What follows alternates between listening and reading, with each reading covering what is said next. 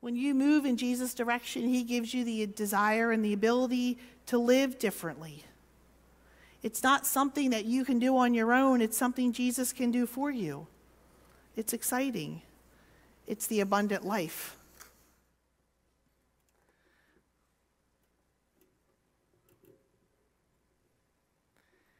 So, good morning, Sharptown friends. If we haven't met, my name's Kristen. I'm on the pastoral team here at Sharptown Church and thrilled, as always, when I have the opportunity to speak this morning. What a privilege and an honor it is to speak for Jesus here from this platform. I'm going to say that if you don't have a Bible in front of you today, I'm going to encourage you to grab one. We have a bunch of Bibles back there on the Bible bookshelf. Many of you have an app on your phone or you brought your Bibles with you. And certainly we'll have slides on the screen but there's something worthwhile about having God's Word open in front of you because we're going to refer back and forth a few times to a few different places in John chapter 11. And so during the Lenten season, we've been talking about turning points in the life of Jesus, defining moments in his life where those around him witnessed his power, his love, his ability to heal. They recognized his deity as he declared his deity. I imagine, like me, there are turning point moments in your own lives where you've witnessed the power of Jesus, where you have felt his love, where you've experienced his ability to heal or he has helped you, and you've known without a shadow of a doubt that Jesus is who he says he is. These turning points for me and for some of you probably have come in moments of worship right here inside of this room. They probably come during your own personal prayer times in your living room. Perhaps some have happened here at this altar. Or maybe through the witness of other believers as they've shared their experiences with you. And it's led you closer to who Jesus is. For me, the more that I study his word, the more that I read, the more that I pray, I become even more convinced of who he says he is. As a matter of fact, at this point in my life, I have a hard time understanding why it is that some people don't believe in Jesus and who he says he is. And so that's a prayer for me for folks that I know that don't trust Jesus yet. That my witness, that our witness, that what we share and how we pray leads people right to his throne. Just last week, out of John chapter 10, we studied a passage from Scripture where Jesus straight up said, I am. He said, I am the same God at the burning bush who said, I am who I am. Just Friday night, I was at Sight and Sound Theater, and that scene unfolded on the stage where Moses approached the burning bush, and you heard this booming sound almost from heaven, where Moses said, Who shall I say is sending me?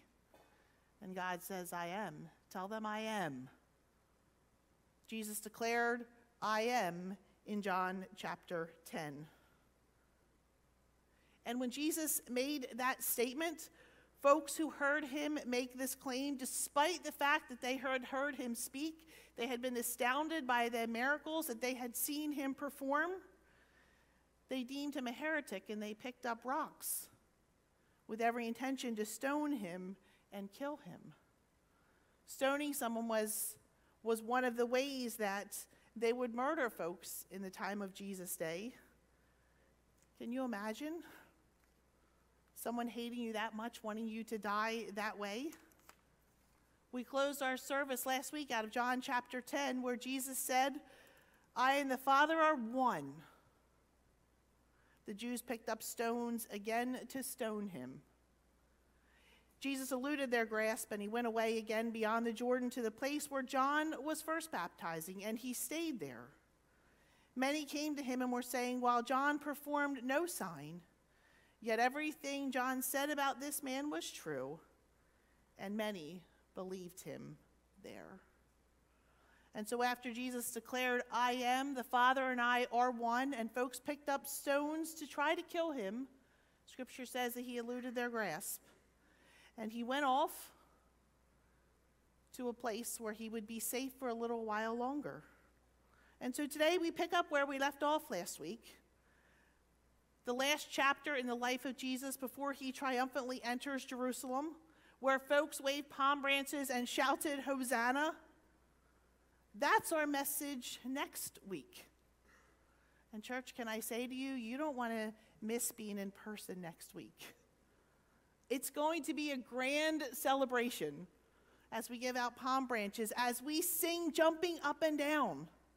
If you're joining us online this morning, you've not yet made your way back into this room or you've become comfortable having your coffee and watching TV online. Let me encourage you next week. Next week, you will want to be here in this room as we celebrate that moment and we shout Hosanna. You'll want to be with us the week after that as we gather all together as one church, both our early service and our second service and our community out at Cowtown. You want to be here for those celebrations. But today, our text is the chapter right before this moment. Our text is when Jesus raised Lazarus from the dead. We're going to talk about the details that unfolded before, during, and after that event as recorded in John chapter 11. So before we read this passage, would you pray with me one more time that God would open our eyes as we read this passage together? Father, I pray that as we open your word this morning and as we read from John chapter 11, Father, that you would teach us this morning, that you would be the one who teaches, that you would speak through me, that your scripture would unfold before our eyes so that we have a new understanding about who you are that it makes a difference in our lives that as we leave this room, we will be different people. Encouraged, touched, different, because we've been with you. Thank you for your words in Scripture. In your name we pray. Amen. So, church, I've mentioned to you before that as part of my seminary journey, I'm required to spend an hour in God's Word and in prayer each and every day. And some of you have asked me how it is that I can possibly find an hour. And I'll tell you, some days it's difficult. But I've mentioned before that oftentimes I listen to God's word while I'm in the car through the YouVersion Bible app. And I don't think that's cheating at all. If God's word is being read to me and I'm being filled with his word, whether I'm sitting down at the table or listening to it in the car, it's all valuable. And so this morning, as we read from part of John chapter 11, I want to give you a taste of what that sounds like. So we have a little experiment up here. I have my phone up here, and I'm going to try to play the beginning of John chapter 11 for you, similar to what I do frequently in my car. And so if you have your Bibles, you'll want to turn to John chapter 11. It will be on the screen and follow along. And we're going to have the YouVersion Bible app read to us for the first several verses. Chapter 11. Now a certain man was sick, Lazarus of oh. Martha. Of Mary and her sister Martha. It was the Mary who anointed the Lord with ointment and wiped his feet with her hair, whose brother Lazarus was sick. So the sisters sent word to him, saying, Lord, behold, he whom you love is sick. But when Jesus heard this, he said, This sickness is not to end in death, but for the glory of God, so that the Son of God may be glorified by it. Now Jesus loved Martha and her sister and Lazarus. So when he heard that he was sick, he then stayed two days longer in the place where he was. Then after this, he said to the disciples, Let us go to Judea again. The disciples said to him, Rabbi, the Jews were just now seeking to stone you, and are you going there again? Jesus answered, Are there not twelve hours in the day? If anyone walks in the day, he does not stumble because he sees the light of this world. But if anyone walks in the night, he stumbles because the light is not in him. This he said, and after that he said to them, Our friend Lazarus has fallen asleep, but I go so that I may awaken him out of sleep. The disciples then said to him, Lord, if he has fallen asleep, he will recover. Now Jesus had spoken of his death, but they thought that he was speaking of literal sleep. So Jesus then said to them plainly, Lazarus is dead, and I am glad for your sakes that I was not there, so that you may believe. But let us go to him. Therefore, Thomas, who is called Didymus, said to his fellow disciples, Let us also go, so that we may die with him. So when Jesus came, he found that he had already been in the tomb four days. Now Bethany was near Jerusalem, about two miles off, and many of the Jews had come to Martha and Mary to console them concerning their brother. Martha, therefore, when she heard that Jesus was coming, went to meet him, but Mary stayed at the house. Martha then said to Jesus, Lord, if you had been here, my brother would not have died. Even now I know that whatever you ask of God, God will give you. Jesus said to her, Your brother will rise again.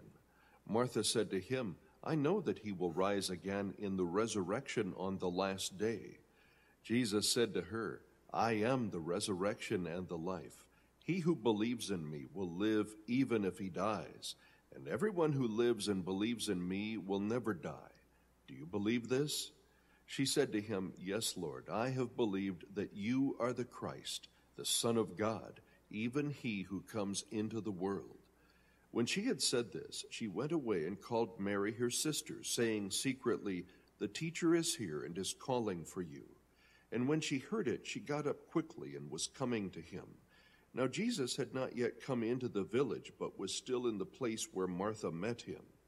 Then the Jews who were with her in the house and consoling her, when they saw that Mary got up quickly and went out, they followed her, supposing that she was going to the tomb to weep there. Therefore, when Mary came where Jesus was, she saw him and fell at his feet, saying to him, Lord, if you had been here, my brother would not have died. When Jesus therefore saw her weeping, and the Jews who came with her also weeping, he was deeply moved in spirit and was troubled, and said, Where have you laid him? They said to him, Lord, come and see. Jesus wept. So the Jews were saying, See how he loved him? But some of them said, Could not this man who opened the eyes of the blind man have kept this man also from dying? So Jesus, again being deeply moved within, came to the tomb. Now it was a cave, and a stone was lying against it. Jesus said, Remove the stone. Martha, the sister of the deceased, said to him, Lord, by this time there will be a stench, for he has been dead four days. Jesus said to her, Did I not say to you that if you believe, you will see the glory of God? So they removed the stone. Then Jesus raised his eyes and said, Father, I thank you that you have heard me. I knew that you always hear me, but because of the people standing around, I said it, so that they may believe that you sent me. When he had said these things, he cried out with a loud voice, Lazarus, come forth. The man who had died came forth, bound hand and foot with wrappings, and his face was wrapped around with a cloth. Jesus said to them, Unbind him and let him go. And so we pause there for a bit. How does that feel having scripture read to you? I've come into this habit and I just love having it read to me when I'm in the car. And so, as we heard in that passage, there is so much going on and so much taking place that we could spend five, six, seven weeks alone just unpacking this passage. Admittedly, I'm going to try to cover way too much this morning in the next 20 minutes. I know that. But I don't have the opportunity to share that much, and there is so much that God has laid on my heart to share with you this morning and to encourage you with. So, first, before we even pick up after that passage, there's a couple things that I want to talk about from what we already heard. There's really three things that I want to highlight. And then we're going to pick up the rest of that chapter, the turning point in Jesus' life. First is this you'll hear and you'll remember that what we read or your Bible in front of you, that when Mary and Martha called for Jesus, he didn't come right away. Lazarus was sick, but Jesus didn't come. And as a matter of fact, when he first got word, Lazarus was still sick. But then you'll remember that he said to his disciples, Lazarus is sleeping. And they said, Well, if he's sleeping, do we really need to go? And then he plainly said to them, Lazarus is dead. And he said, We're delaying getting there so that God's glory will be on full display. Because Jesus was teaching and training his disciples. He wanted specifically, intentionally to wait so that God's glory would be on full display. The lack of movement, the lack of responding right away was on purpose, it was not a mistake. And I'm pretty sure that Mary and Martha didn't understand that. They didn't know that. They didn't know that Jesus was waiting so that God's glory would be on full display. And I think that's the case for you and I as well. When God doesn't seem to be moving in response to our requests, it doesn't make sense to us. We don't understand why, and we're looking for answers. And when Jesus finally decided that it was time to go, his disciples reminded him, Do you really want to go back to that place? The last time we were there, folks were trying to kill you. I imagine that Jesus was thinking, Really, the whole reason I came was so that I would die for you. I'm not afraid to go back there. All of this was in God's timing. And do you notice that when Jesus gets back to town, and Martha runs out to meet him. She says, If only, Jesus, if only you had been here. Church, I wonder how many times, I know I've said those words, if only. How many times have you prayed or you've reached out to Jesus or you've used those words, if only? I imagine that many of us have had those thoughts. If only God had shown up. If only God had answered my prayer. If only God had intervened.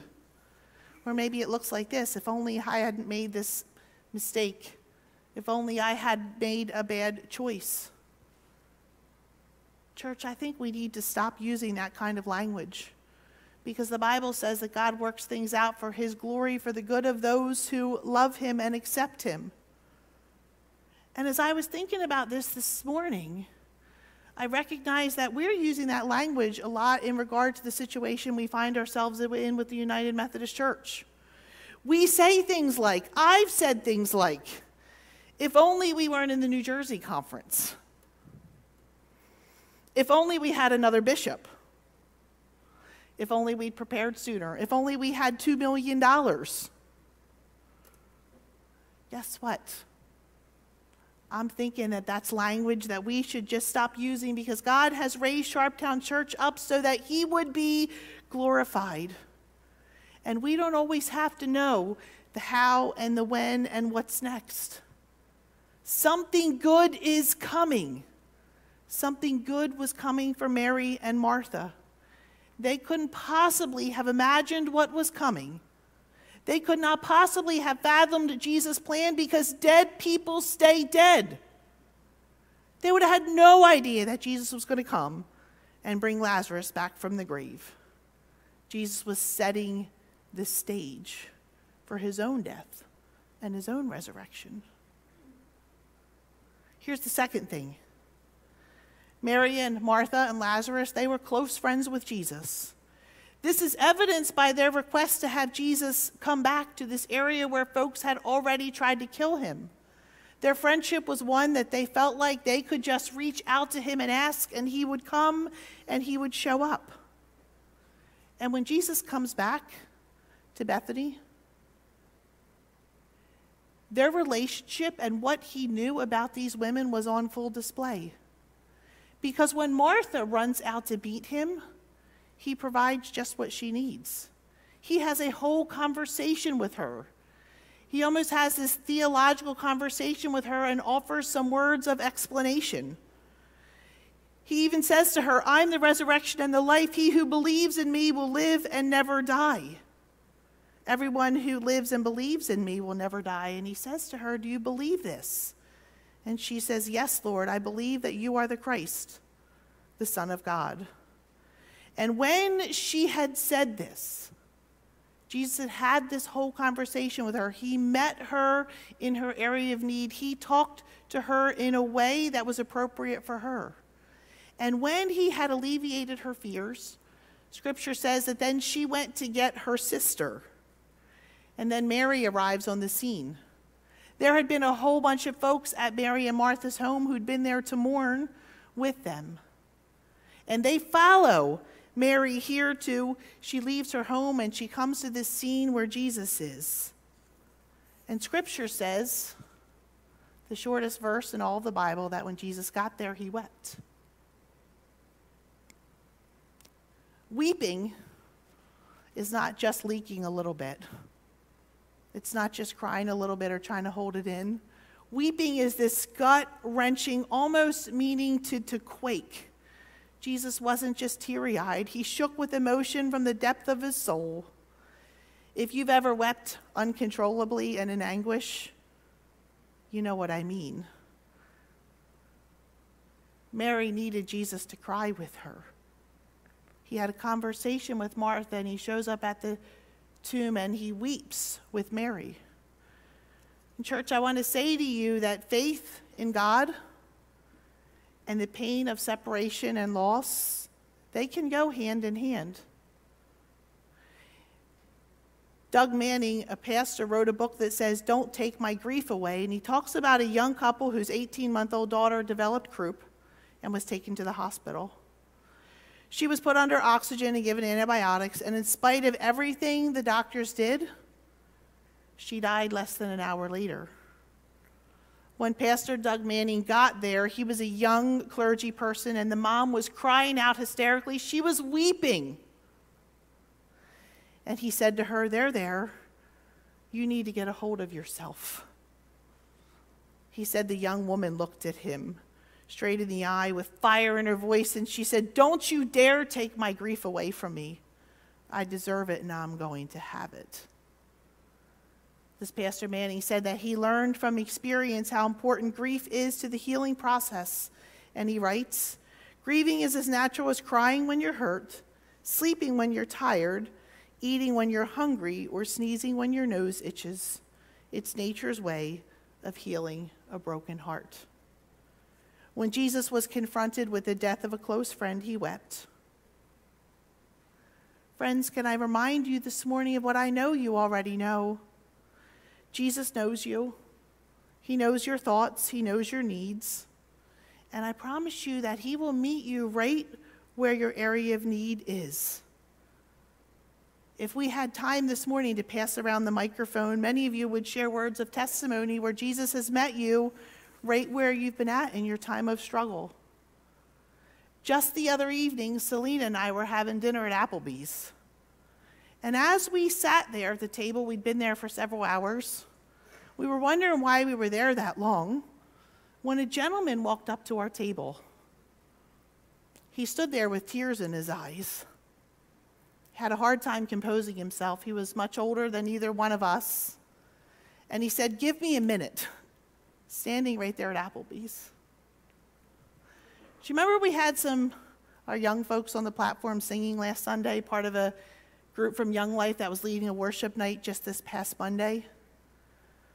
Well, last minute, this gentleman and his wife, they lived down the street, they decided to just show up at the old Christian Academy and come to the worship night. And as he stood there at our table weeping, he said that somehow in a way that he can't explain or a way he can't describe, God met him that evening through that worship night, through the lyrics and through the testimonies. And he proceeded to tell us what God had done in his life in the last couple days since Monday.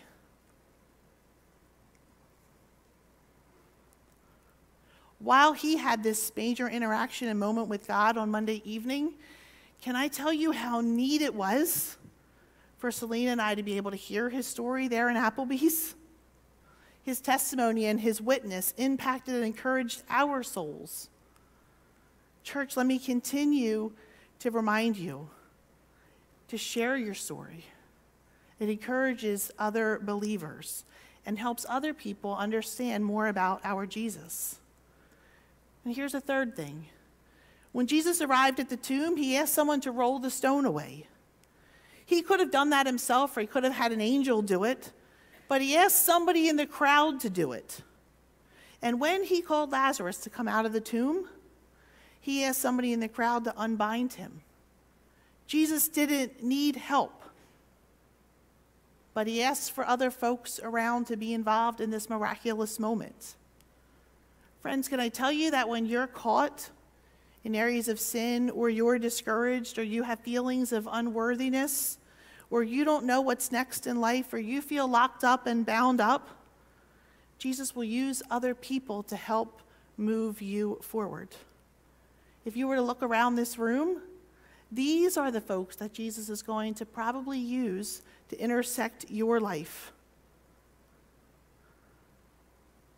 If you're privileged enough, Jesus will use you. He wants to use each and every one of us. He doesn't need our help, but He enlists our help anyway, because collectively we reflect His image. These were some of the things that Jesus was teaching His disciples in this miraculous bringing Lazarus back from the dead. He was teaching his disciples and the entire community that he is victorious over death, a foreshadowing of what was to come. Jesus brought a dead man back to life, one who'd been dead for four days. And those who witnessed that miracle, they had to be in complete awe. And there were a lot of witnesses to Lazarus' resurrection. Many had come to Bethany to comfort Mary and Martha, and when Mary left to go to the tomb, they went with her.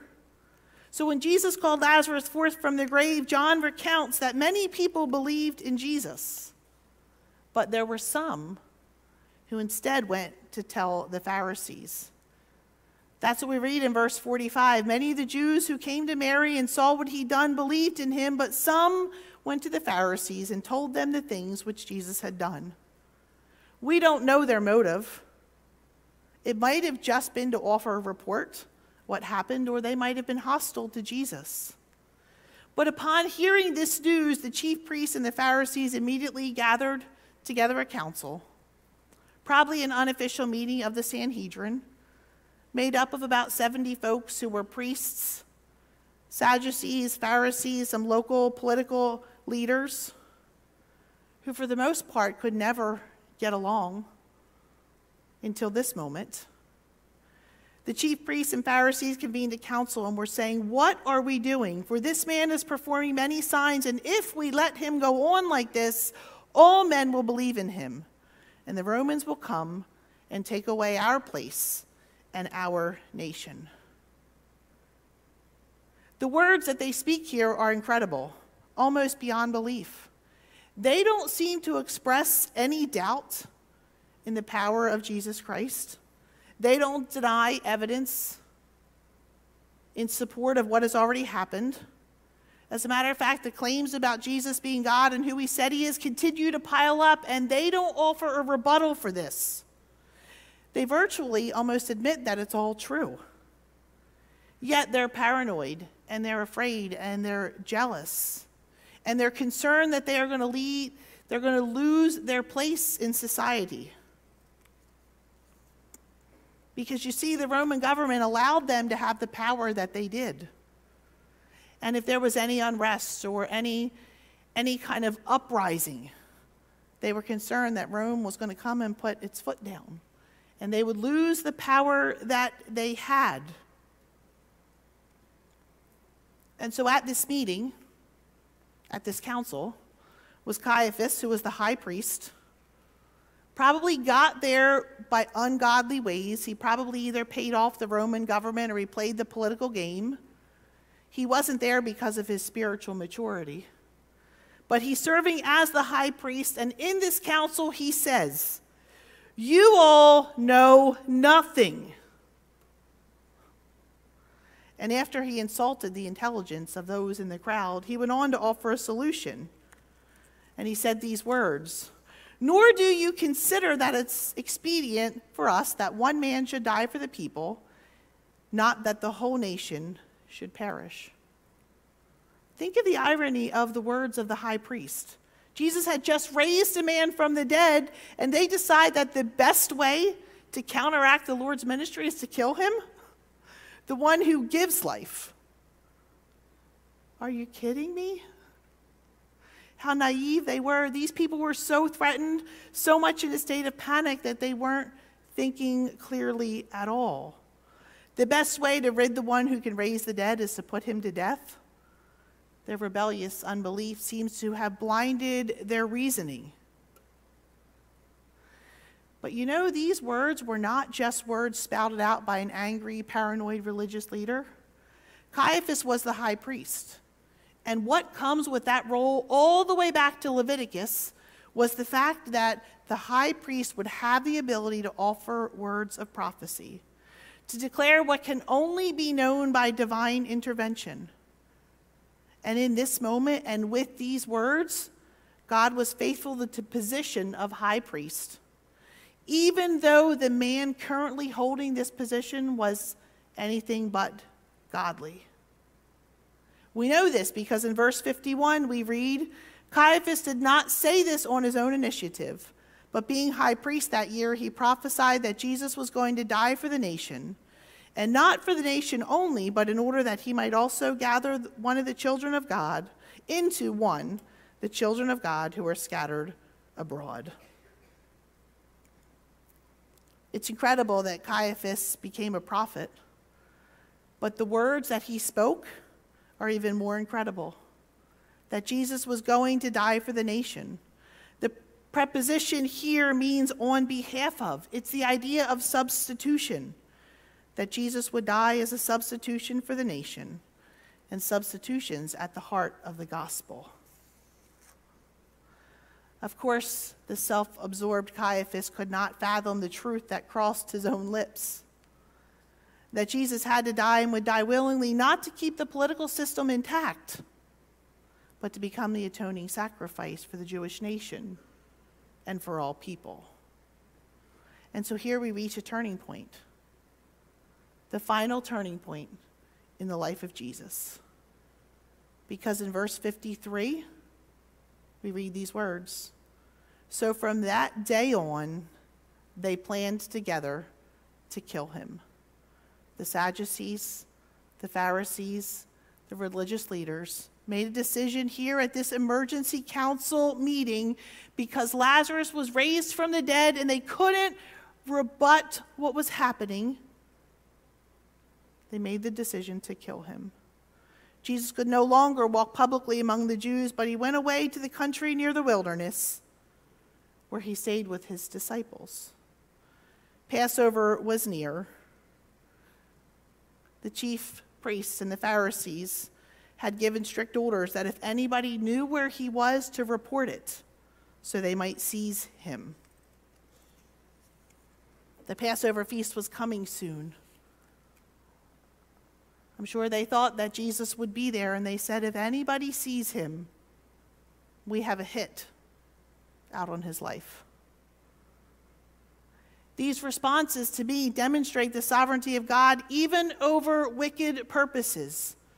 Do you remember back in Genesis where we're told of Joseph's words to his 11 brothers? He revealed himself to them after he became a leading power in Egypt, long after his brothers had cruelly sold him into slavery.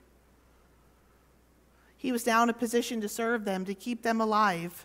And he told them, But as for you, you meant it for evil against me but God meant it for good. In order to bring about this day to save many people alive.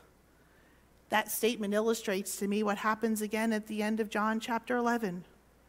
Here we see powerful but frightened men plot evil against the Son of God. But the very evil they meant for God and His sovereignty, God meant for good and for the salvation of many the council entered into its conspiracy to murder Jesus. At this time, there was no charge brought against Jesus. There was no trial. There was no witnesses. There was no one present to defend him. Yet they condemned him to death. Months before his arrest and trial in Jerusalem, it had already been decided he was guilty and that was that. But as so often happens with ungodly men that God places in positions of power, Caiaphas' words and his evil plot meant far more in the purposes of God than he ever could have realized. God used him. And God can use ungodly people to accomplish his tasks. As we close, I have just two more takeaways. And remember, I said I was going to cover way too much, and I realized that. But there's two more things that I want to say before we close. I wonder this morning if some of us are still living like the Sadducees or the Pharisees. Perhaps we come to church on Sunday morning and we can't discount the things that we're hearing in Scripture. That we hear these stories and we see how people's lives are being touched, but we haven't yet embraced Jesus for ourselves. Perhaps because it might threaten our livelihood or our way of life. What are you afraid of? That God might convict you of sin and you'll have to live differently? Friends, let me say that's nothing to be afraid of. When you move in Jesus' direction, He gives you the desire and the ability to live differently. It's not something that you can do on your own, it's something Jesus can do for you. It's exciting, it's the abundant life. Listen, it's okay if you feel like you don't know how to pray or you don't know how to find scripture to read in the Bible or you don't know anything at all about God or you feel completely unworthy. Thankfully, Jesus didn't die for the worthy. We're all unworthy. Look at how silly all those unbelievers were in John chapter 11. Although I'm not so sure that you can call them unbelievers, they recognized Jesus for who he was. Would you recognize Jesus for who he is this morning and take a step? Get over yourself. Just say to Jesus, I believe who you say you are. Thank you for dying for my sin. Forgive me of my sin and start a relationship with him. It's not that complicated. We make it complicated. It doesn't have to be. And for those of you who are already Christians, think about Lazarus' life and his story. Indulge me for just a moment. Imagine the resurrected Lazarus showing up at your dinner party and talking about being dead and now he's alive. Talking about being in the tomb and walking out of the tomb. Shouting that, hey, Jesus called me back to life. He called me to life out of the grave. This leads me to the greatest takeaways of this account. We can understand why Lazarus would have told everybody that he met. It's an amazing story. But, friends, can I say to you, we also have an amazing story. Those of us who walk with Jesus, we have an amazing story to tell. We have a story to tell that we can tell folks the minute that God's voice called to us from the grave, called us by name, and bellowed us to come forth out of the grave.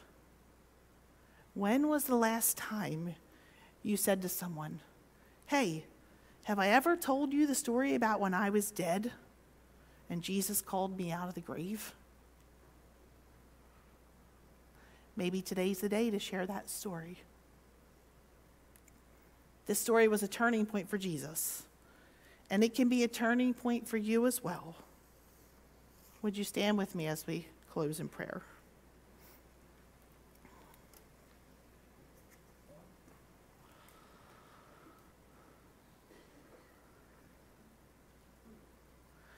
Jesus, all throughout the New Testament, as we read the story of your life, we are astounded and in awe of who you are, of what you've done, of your love for us.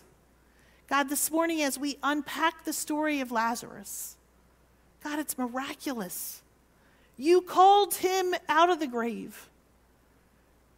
God, there was a moment for all of us where we were dead in our sin, and you called us by name. You called us out of the grave.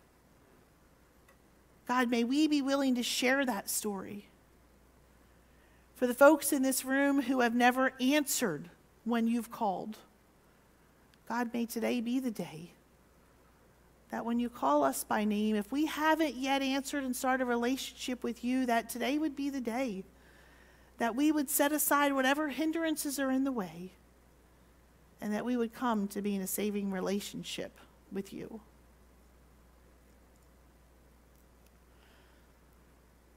And Jesus, we're grateful. We're grateful for this turning point in, in your life. that while you were completely innocent, a council convenes with no trial, with no evidence, with no jury, and sentences you to death. Oh, did they think they had the upper hand? But God, you were on the throne all along. This was your plan all along. This turning point, this defining moment was your plan since the beginning of time. God, may we once again today be grateful. May we once again be excited. May we once again shout your praises. We thank you that you were willing to come and to die for us, even though we're not worthy. We're grateful. We celebrate you and we worship you. We love you.